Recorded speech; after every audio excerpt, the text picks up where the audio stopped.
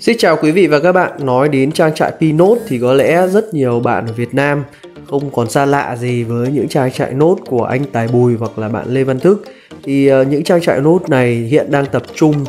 uh, cái ờ, số lượng uh, máy tính chạy nốt nhiều nhất tại Bình Bình Định.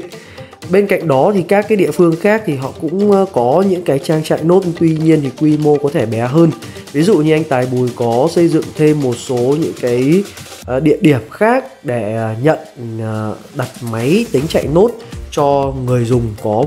muốn có nhu cầu uh, sở hữu một chiếc máy tính uh, chạy uh, nốt pi tại uh, Thái Nguyên này, Quảng Ngãi này uh, và thậm chí có cả văn phòng ở Hà Nội. Uh, nhưng mà tuy nhiên cái độ phủ đấy thì cũng chưa được uh, được là cao.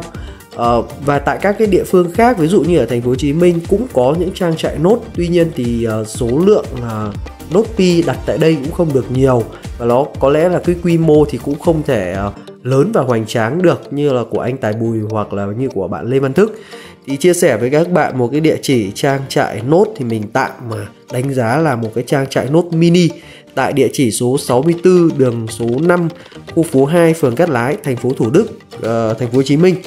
à, trang trại lốt này thì là của bạn à, Phạm Lâm với số điện thoại là 097 356 5839 thì bạn nào mà có nhu cầu muốn uh, có một cái máy tính chạy nốt pi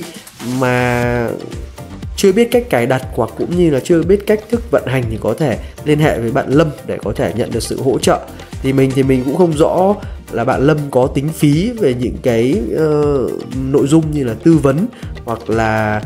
uh, lên cấu hình hộ các bạn những cái chiếc máy tính chạy Nokia PA không. Ờ, nhưng mà các bạn cứ thử liên hệ uh, với bạn Lâm xem là bạn có hỗ trợ free được không? Hoặc là hỏi lại bạn ấy xem cái chi phí vận hành nốt pi đặt tại trang chạy nốt của bạn ấy thì như thế nào.